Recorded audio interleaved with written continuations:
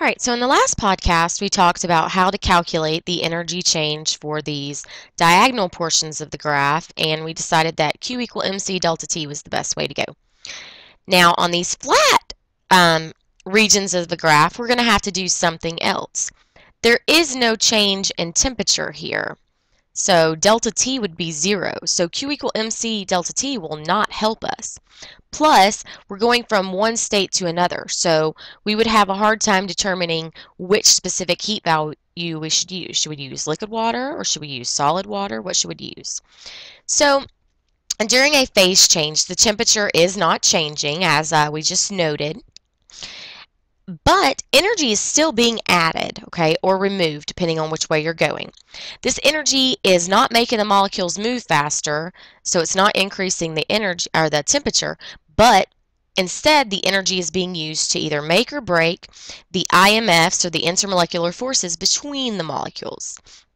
So we have two different um, conversion factors that will help us. The first is, I'm going to start on this side because this one really makes more sense to be first. The molar enthalpy of fusion or the heat of fusion is the energy required to melt one gram of a substance, okay? So we're talking about going from a solid to a liquid here, okay? So melting. It so happens that the opposite of that process of uh, melting would be freezing or solidification. The value um, for the enthalpy of fusion is the same as the value for the heat of solidification except for one thing. It's negative. So solidification, you're talking about going from um, a solid to a liquid. Okay, so same exact number except for solidification is negative because it's exothermic, you're losing energy. All right, now the other one is the heat of vaporization. Okay, so that's the energy required to um, vaporize or go from liquid to gas, one mole. Okay, and exact same value but opposite sign would be condensation because condensation is exothermic. Okay, so you're probably like, what this lady talking about? Well, this is what this lady's talking about. The heat of fusion or solidification is 335 joules for one gram, so it takes 335 joules to melt one gram of a substance or negative 335 joules to freeze one gram of a substance. Heat of vaporization is 2,330 joules for one gram, and then condensation is going to lose uh, 200, I mean 2,330 joules for every one gram. So just remember that condensation and solidification are going to be negative. Same number, but negative. So now let's look at a little calculations the energy required to heat or to uh, vaporize uh, 15 grams of water. So we're starting with 15 grams of water vaporize, which means we're going to need the heat of vaporization. So we're just going to line up our units. We got 1 gram on bottom, 2,300 and that was 30 joules on top.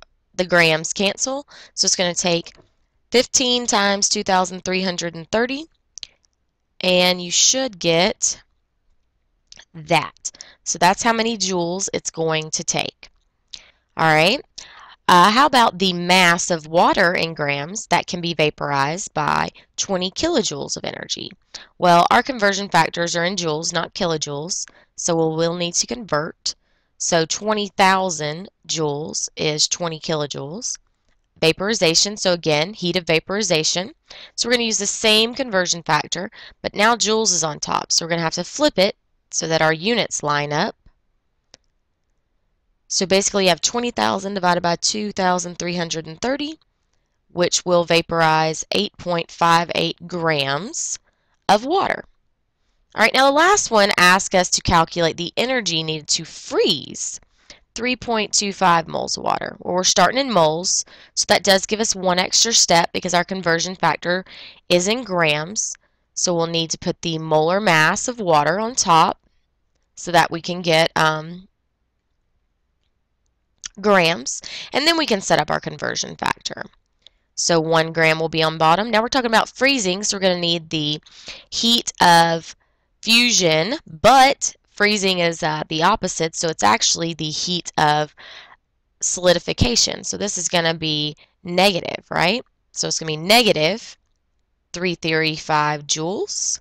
And then you're going to multiply across and you will lose 19,614.7 joules to freeze 3.25 moles of water. Okay, now I really like this picture because it kind of sums it all up for us. So it's still, remember this is from the uh, first podcast, so showing us our states of matter that are occurring in the molecular form at each portion of the graph. This also shows us that for the diagonals we can use Q equal mc delta T. And then for the flat lines we're using the enthalpies of fusion or vaporization or condensation or solidification. Okay, so I really like that